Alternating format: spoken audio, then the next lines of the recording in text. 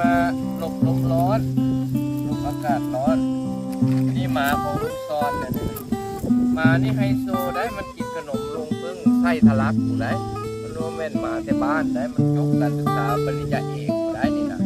เรื่องการล่าสัตว์เอามามา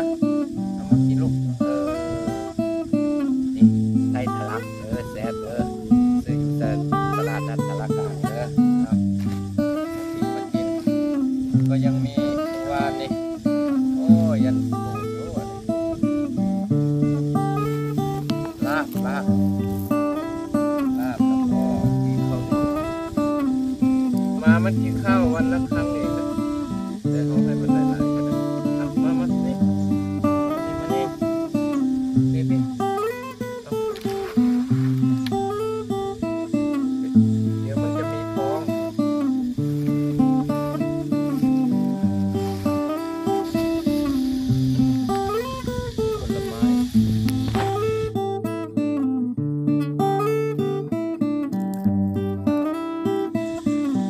ท่านใดที่มาเที่ยวอ่างเก็บน้ำตัดไฮนะครับเด้อมันจะมีหมาอยู่ตัวหนึ่งสีดำนี่แหละ เป็นหมาของลุงซอน เพื่อนนั้นเอามันมาปล่อยอยู่แถวนี้มันมันมีคือลุงซอน อันเกิดอุบัติเหตุหัวหัวเข่าผ่าหัวเข่ายังเดินไม่ได้ ดีขึ้นหลายแล้วล่ะ เพิ่อนก็เลยให้อัน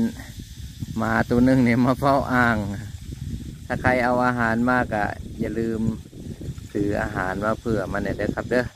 นี่ผมเอาลาบกับข้าวเหนียวให้มันกิน แล้วก็มีขนม เดี๋ยวพอมันกินเสร็จแล้วผมก็จะเก็บไปพลาสติกนี่ไปกองไว้แล้วก็เอาไปลงถังขยะได้บุญ